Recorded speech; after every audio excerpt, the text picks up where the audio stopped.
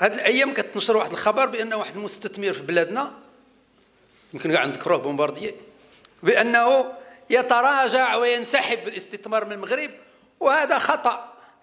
هذا غير صحيح.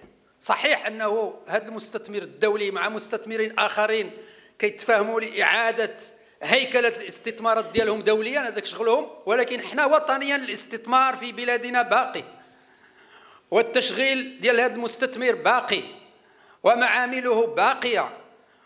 وإنما يعيد نظام نظام آه، خريطة استثماراته دوليا دون المساس بالاستثمارات في بلادنا لأن ما فهمناش هذا الشيء كنحاول نبدو واحد الأخبار اللي كتشكك لدى المواطنين ولدى الفاعلين الاقتصاديين والاعلاميين ولدى السياسيين.